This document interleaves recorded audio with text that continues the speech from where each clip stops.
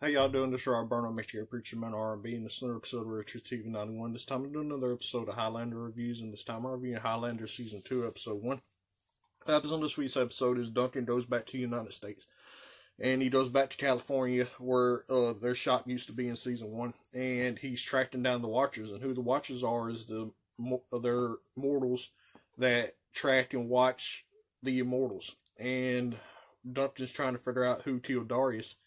And come to find out, the leader of the Watchers is the one that killed Darius, and we find this out because Duncan meets one of the Watchers, and he's the brother-in-law of the leader. But he's a good guy, and he just wants to watch the Immortals and to observe them like they're supposed to.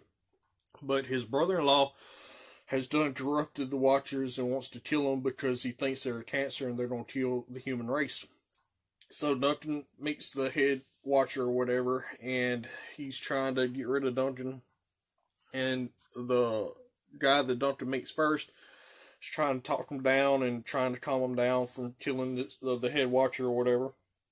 And they meet up at the end of the episode, and the head watcher is about to kill his brother-in-law to blame it on Duncan. And then Duncan almost kills him, but he doesn't. He lets him live. And then Duncan walks away, and the head watcher shoots Duncan. And then Duncan stabs him with a sword and kills him. Well, after this, Duncan passes out and dies, but he comes back to life because his head went cut off. And all the Watchers has disappeared, so Duncan doesn't know where they're at, and Duncan thinks they're gone. But at the end of the episode, Duncan uh, and Richie and Duncan's girlfriend Tess are walking, and some Watchers are watching them. So we have to see what happens with that. That's all that really happened. My question for y'all is: now that the Watchers have disappeared What's going to happen with that? As always, Preacher Man R&B signing out. Guys, GG is awesome. Spinner of Soda Richie TV 91. See you next time.